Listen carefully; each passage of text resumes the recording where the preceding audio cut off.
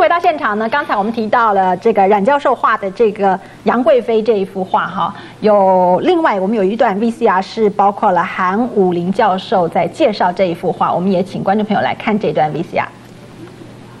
茂琴啊，是我大概十多年的好朋友啊。那个这次看他的展览呢，其实他很多画我都不陌生了，他整个创作的过程呢，我也很了解。在台湾来讲啊。呃，以人物写生，我想阮教授哈，他应该是数一数二的，当之无愧了啊。因为台湾的整个教育的体系，它它是承袭日本的系统，所以在基本功夫来讲啊，不是像呃大陆那么样的呃严谨。因为像这样这个人物，我们来看啊，他的。整个皮肤的色彩、人物的动态、画面的整个结构啊，它是属于非常从古典主义过来的，呃，一个一个整个形式。所以从台湾的那个那个早期的写生来讲，它是注重呃表现的，差不多是印象派以后到表现主义、野兽主义的那个色彩的表现。像我们一些老画家都是从日本呃受教育过来，而大陆不同，他们是。苏联的一个系统，所以他注重基本功，他们大部分的那个基本功夫都很好。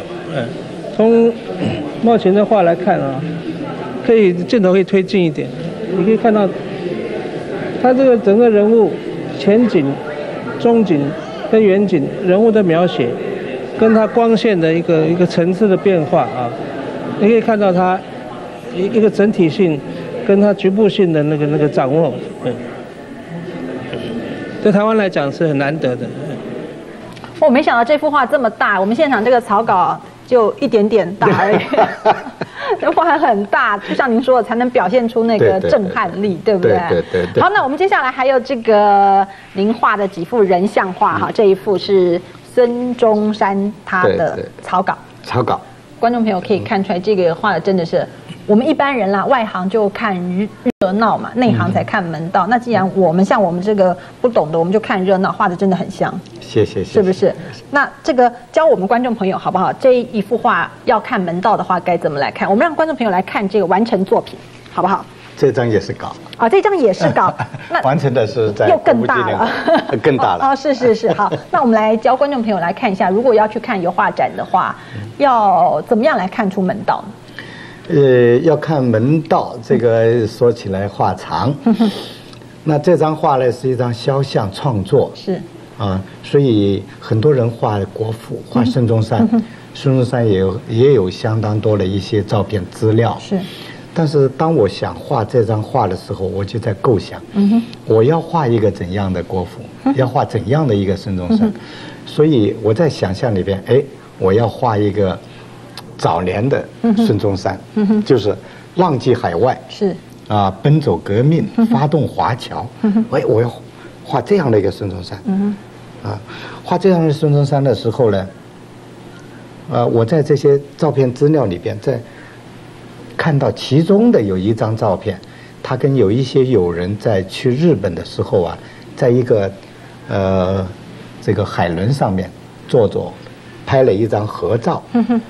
啊，当然，实际上孙中山早年的时候，那个时候没有什么飞机嘛，啊，都是坐坐轮船，所以实际上他是经常在奔走在很多国家啊，英国啊、美国啊、日本啊这些国家里边，所以坐坐这个大轮船，应该是他经常的交通工具。交通工具对，所以把它放在一个船上。啊，放在一个船舷上面，背后是大海。我觉得这样比较能够反映、描绘啊，呈现孙中山的那种胸襟，是。那种气魄，是。啊，而且也能够带出当年的这种我们说风云际会啊，这样的一个领袖人物啊，啊，他的奋斗的一生呢，是。集中的去表现他。是，所以在这个构图上面呢，我就采取了。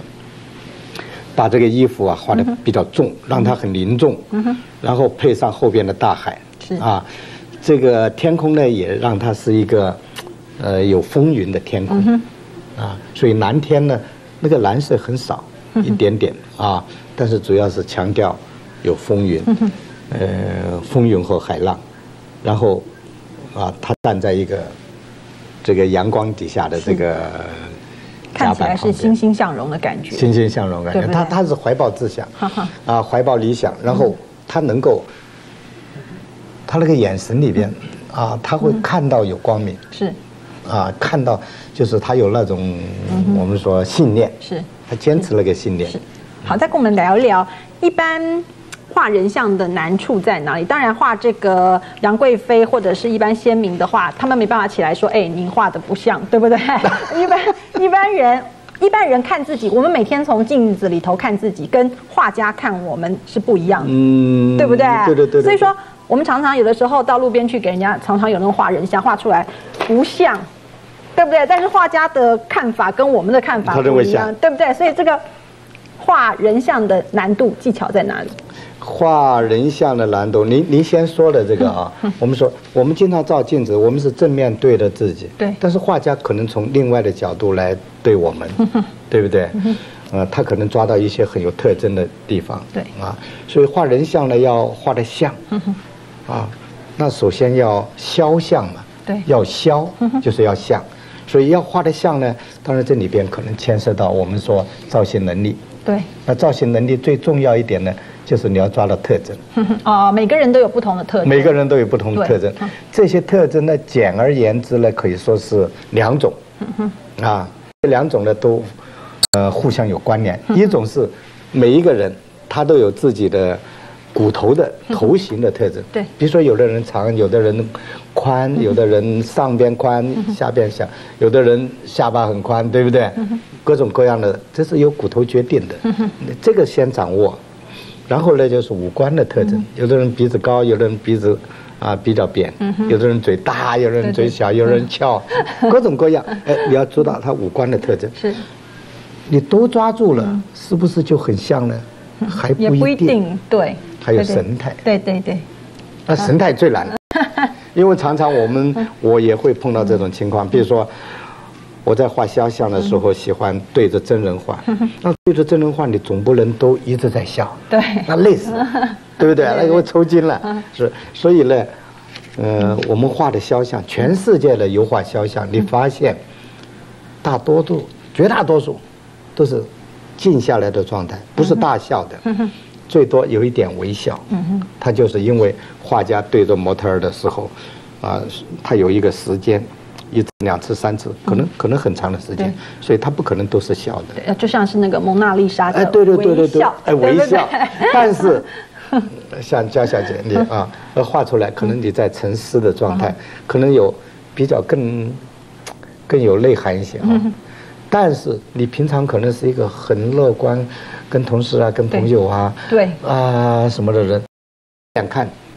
怎么好像不大像？对，就是这个就是盲点，就是自己看，嗯，你怎么画不像？我平常都 好乐观的，你怎么画出来有点对。不像哎，对不对？因为我们静下来了，我们坐下来，啊，我坐下来，我总不能一直笑着吧。对，哎，这是你不大发现自己的，或者你周遭的人没有大发现你在沉静下来的那个神态，所以有的时候会有这样。所以我们要这个特别跟观众朋友来做提醒：如果你有心想要让这个画一幅肖像的话，你要懂得去欣赏画家画出来的东西，而不是哎怎么跟我一点都不一样。如果要完全一样的话，照相就好了。对对对对，不需要画了嘛，那个不是艺术的表现了嘛，对不对？是另外一种程度艺术的表现了。好，那最后大概有将近两分钟的时间，我们来请这个冉教授跟我们聊聊您未来的创作的理想在哪里？未来你想要创作一些什么样的作品？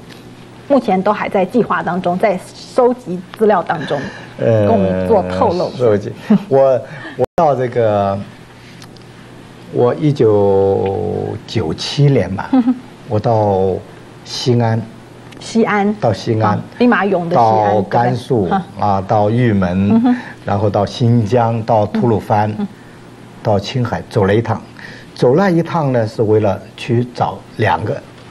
啊，两个创作的一些素材，一个是关于杨贵妃的，嗯哼，那我收集了一些素材。杨贵妃，哎，最后的时候，我把这张杨贵妃画完了。嗯哼，本来呢，这张杨贵妃还有要画两张画也是。嗯我先跟你提到了，就是贵妃出狱对。和贵妃之死。对，那我现在完成了一张。嗯哼。另外呢，我要画一张旋状，旋状啊，去西域哎，取取经的那个玄奘，因为这个玄奘去取经呢，也是在历史上，我我们今天回头来看，也是非常的了不起的人。他一个人，嗯哼。尤其是出了这个不是还有猴郁闷子、猴子、猪啊？开玩笑，《西游记西游记。啊，很有意思。是没错。对对，他当年啊一个人，嗯。呃，离开玉门，啊，离开这个玉门关了，一个人西行，那是一个人，是。差一点死掉，啊，他到了这个我们说西域以后，后来有这个其他的国王啊赞助他，后来又派了，呃，给了他马匹呀、或者一些帮手啊，然后他再继续啊走。但最艰苦的是他一个人来说，我就想画那个。那个精神画，那个精神往勇往直前，就是要达到目标的那个精神。对对对，就是旋转一个人，啊，我也画了很多草图，但是这张画一直，呃，还没有画出来。是啊是好，所我们以这个期待是可以在这个短时间内把它画出来，公诸于世，让大家可以来欣赏一下这个画作，好不好？今天非常谢谢谢谢冉茂琴教授呢，到节目当中来跟我们谈一谈他的画作，还有谈谈他的生长过程，真的是我们一般人没有办法想象的，也非常的精彩哈。而非常谢谢教授，也谢谢你的收看，我们下次再见，拜拜。来，教授，谢谢，谢谢你，谢谢，谢谢谢谢谢谢。